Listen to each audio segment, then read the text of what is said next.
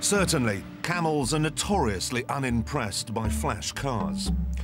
If you want to catch one, you need two things. Four-wheel drive and a lobotomy. This is the kind of bush, I mean it, but absolutely no man has been before. We're 100 miles from Alice Springs here. We look what it does to people when you live out here.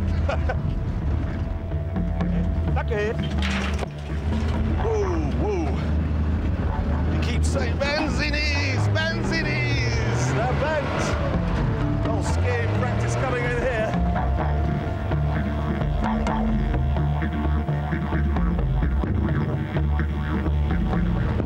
What happens when we catch the camel, the plan is, Gun here, Denmark's only camel catcher, is gonna, whoa, hold on, missed that tree.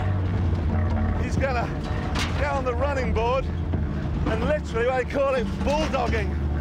He's just gonna leap off the vehicle and grab it around its neck and wrestle it to the ground. The first attempt was a failure, perhaps because it had been a two-hour chase, during which time we'd ripped through the bush at up to 80 miles an hour, having our hands and faces torn apart by passing trees. We were tired, the tyres were shot, and it was hot enough to boil a tortoise.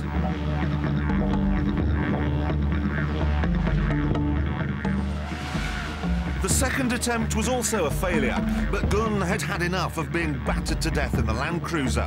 He was going to take on Mr. Camel, man to man. They can't simply shoot the camels, which are all over the bush, because many are exported to the Middle East to be used for racing or breeding.